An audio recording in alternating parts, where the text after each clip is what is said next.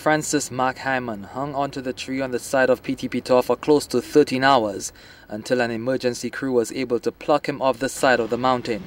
A French rescue team had to be called in due to the unavailability of specialized equipment locally.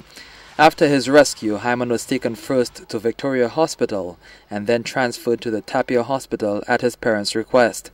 Consultant surgeon Dr. Charles Grinnett treated the young man at that hospital. His condition is remarkably good considering the ordeal he's been through.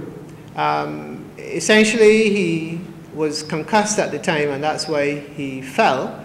Um, but currently, he's fully alert, and other than a few scratches, is um, in very good condition. Doctors at Tapion Hospital were awaiting further test results, but did not expect his condition to deteriorate. Hyman was part of a group called Semester, a semester at sea program for college students on board sailing vessels. It's facilitated here by the Soufrière Marine Management Association. The general manager, Kai Wulf, says contact was made with the French, but time was running out. We had to make a decision that if the French green light would not come by 5.15 in the afternoon, we would try to attempt a local rescue attempt. We had a local rappeller on standby. He actually was already in his harness, and we would have to get him in there and try to put the harness onto the victim, have him brought out there. It would have been an extremely dangerous exercise, and we only wanted to do that as an absolute last resource. There was no need for that action, however, since the French rescue chopper came in 10 minutes before the deadline given for them to arrive.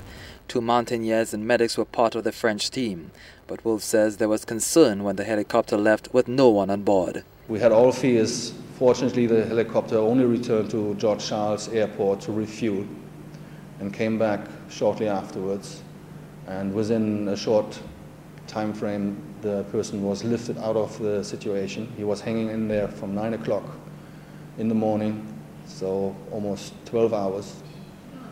Um, he was then brought to George Charles Airport. He was examined already by the French medical team, who decided that it is okay that he will be left here in, in St. Lucia. The rescue team had to wait until dark to use night vision equipment to locate Hammond. He was transported from the mountain at 10.05 to sighs of relief. Hyman was discharged from Tapion Hospital Friday, despite doctors' advice for him to stay overnight. He was expected to rejoin the rest of his group late Friday. Clinton Reynolds, HTS News, Channel 4.